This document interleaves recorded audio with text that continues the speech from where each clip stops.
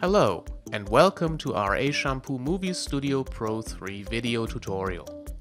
Today, I'll show you how to trim the beginning and end of your videos, and how to cut out individual segments. We've called this feature Cut Commercials and designed it as a standalone tool accessible through the Start page.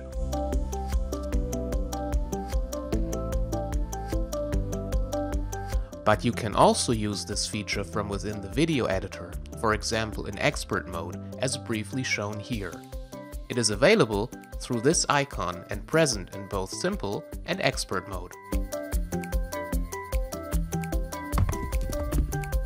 But now, back to the start page, where I'll select Cut Commercials.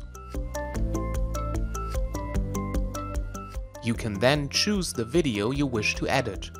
Videos in the System Video folder are listed by default.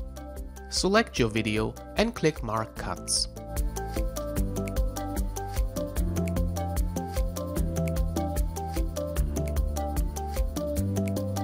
The first and last 10 seconds of your video will be auto-selected for trimming.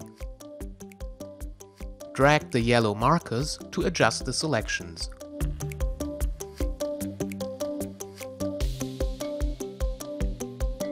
To create a new selection, left-click the timeline to specify the start position, then indicated by a marker. Use the arrow buttons to move the marker forward or backward by 10 or 15 frames.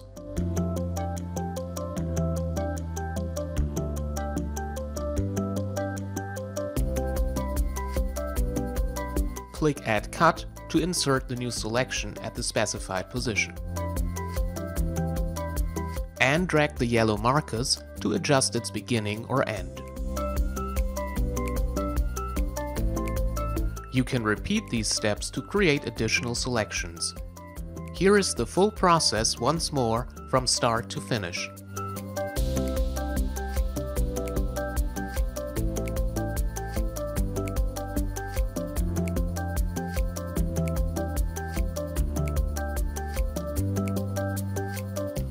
Once you've marked the segments to be removed, click Select Format to specify the output format for your video.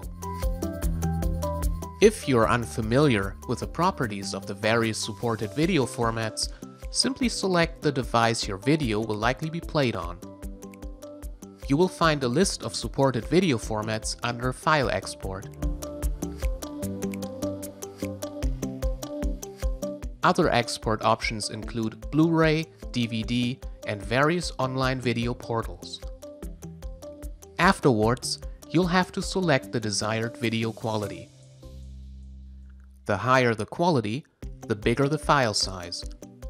Note that the maximum available quality is defined by the device, portal, disk or file type you selected on the previous page. Use the slider to make your adjustments.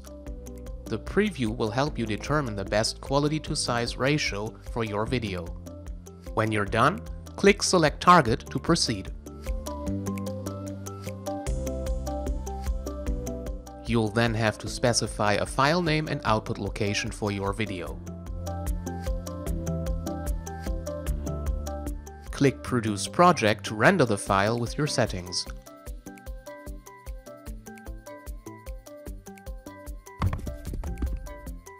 That's it for today's video. We hope you'll enjoy using Ashampoo Movie Studio Pro 3. If you like this video, please give us a thumbs up. Use the comment section to tell us what other programs and features you would like for us to cover next. Thanks for watching.